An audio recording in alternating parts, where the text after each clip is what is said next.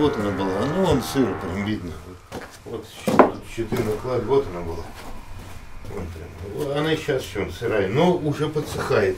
А иначе здесь, здесь стояла вода. Лишь когда снег растаял, стало понятно, почему залило подвал этого дома на улице Генкиной в Нижнем Новгороде. Оказывается, рядом прорвало трубу холодного водоснабжения.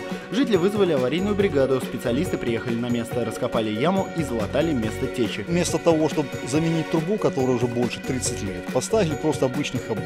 Как они назвали это, э, обвязная муфта, что ли, из обычной жестянки. Я вечером перезванивал в диспетчерскую службу аварийной службы, э, и на мой вопрос, закончили они работу, да, они закончили работу, передают другой бригаде, которая должна закопать все это. А если через две недели или максимум через два месяца эту гнилую трубу прорвет там через 20-30 сантиметров, тогда мы раскопаем снова. Удивление жителей понять легко. Практика показывает, что такой ремонт не всегда долговечен. После починки одного участка водопровода почти сразу рвется по соседству. В конце прошлого года на улице Белинского возле офисного центра трубу разорвало сразу в нескольких местах. Коммуникацию залатали. А Эта норма – это самый наиболее применяемый на сегодняшний день вид ремонта, чтобы э, людей надолго без воды не оставлять. Замена трубопроводов э, происходит согласно капитального, плану капитального ремонта, который формируется на год.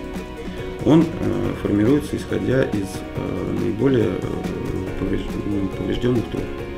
Данный трубопровод за последние три года это была первая утечка. Протяженность водопроводных труб в городе около 1600 километров. Ожидается, что в этом году водоканал заменит 25 километров коммуникаций. Труба на Генкиной в этих планах не значится. Дети с колясками, с детскими, э, люди заползают здесь, а ступенька сползает туда, в эту яму. Он опять вываливается.